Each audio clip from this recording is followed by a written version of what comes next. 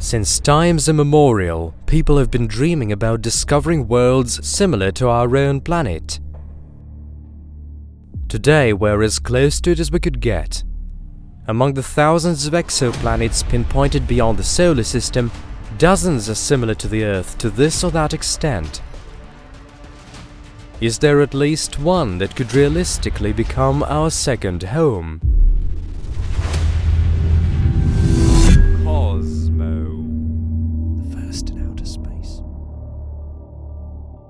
The first exoplanets were discovered back in the late 1980s.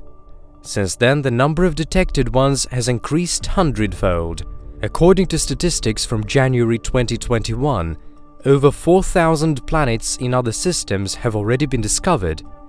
Apart from these, several thousand candidates likely to be given this status have been registered. With sufficient evidence from Earth-based observatories, most of them are going to become officially confirmed exoplanets. The overall number of planets in our galaxy may supposedly be over 1 trillion. From 5 to 20% of these are close to our Earth in terms of their size and composition.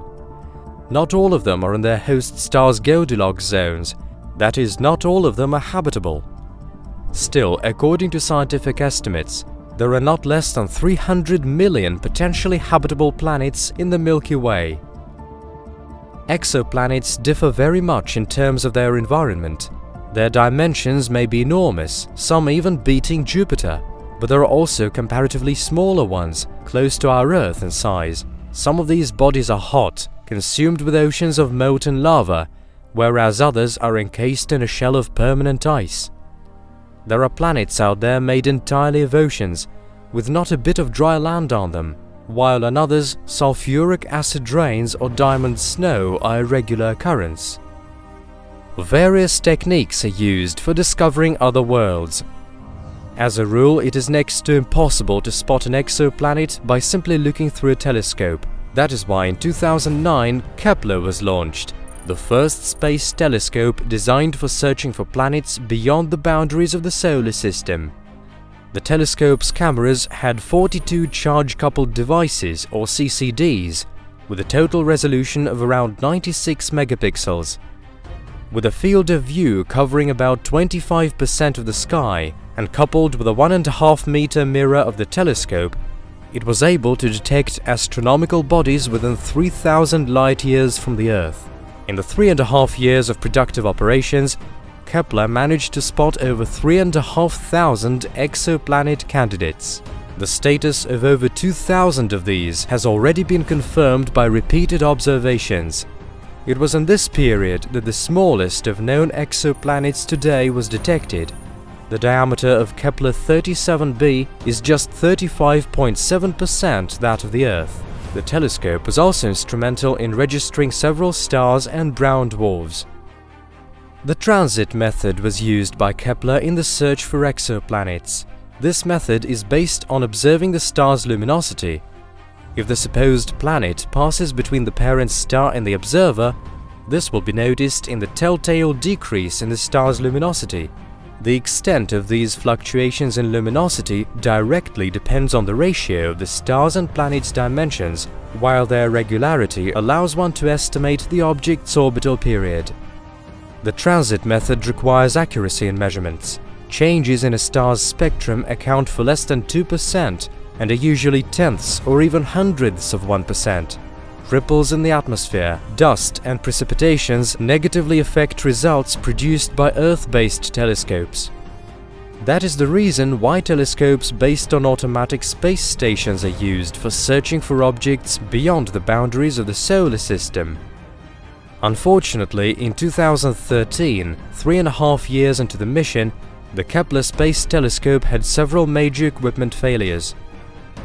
In 2018, the spacecraft ended science operations completely. Kepler was the first spacecraft to be created specifically for looking for exoplanets. However, most of the objects it managed to spot happened to be too remote and dim to study them in any satisfying detail. That is why the next space research complex had slightly different parameters. Kepler was succeeded by the TESS telescope launched by NASA on the 18th of April 2018.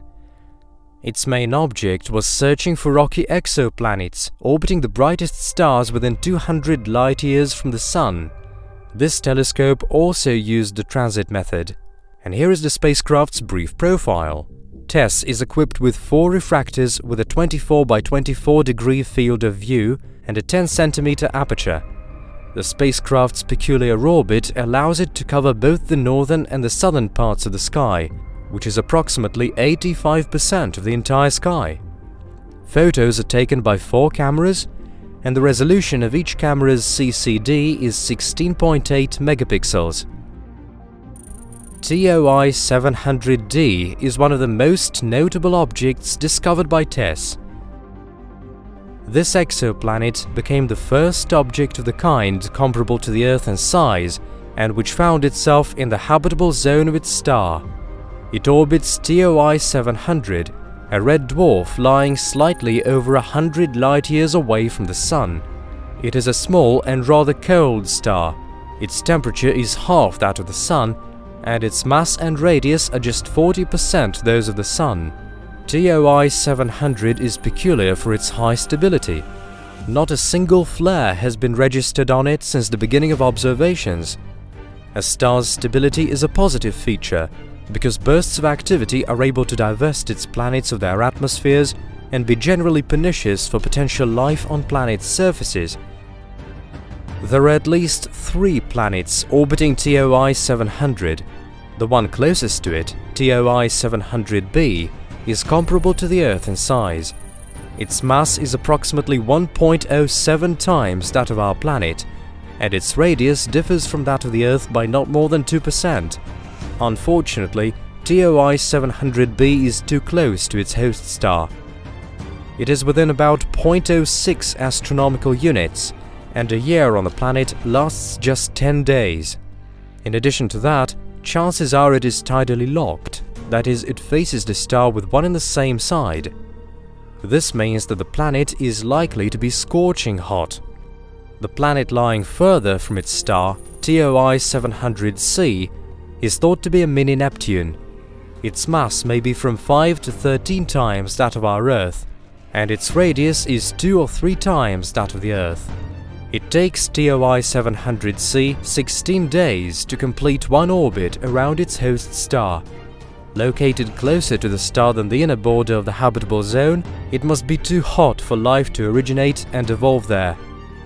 TOI 700d is the third and at this point the remotest planet in the system discovered by now. It takes 37.4 days to complete a full orbit, which by the way lies along the inner edge of the habitable zone. The mass of TOI 700d hasn't been gauged precisely and may be anything from 1 to 3 times that of the Earth. At the same time, the planet's radius is just 20 to 30% bigger than that of the Earth. TOI 700d is thought to be a rocky world, but its exact composition is not yet known. The amount of energy received by the planet from its star is 86% that of the amount we receive from the Sun. Assuming the planet's atmosphere is similar to ours, the steady-state temperature on the surface of TOI 700d is estimated at 268.8 Kelvin, or 4.3 degrees Celsius below zero. However, due to the greenhouse effect, or other features of the atmosphere we may not know yet, this figure may shift either up or down. There is no precise data on the eccentricity of TOI 700d, but it is thought to be small at around 0.11. As the planet's orbit finds itself at the inner edge of the Goldilocks zone, the planet's eccentricity, however small, may incidentally turn out to be perceptible when the planet comes too close to its star from time to time, thus actually leaving the habitable zone. Still, with a year on the planet lasting slightly over one Earth month, such unfavorable periods are expected to be rather short.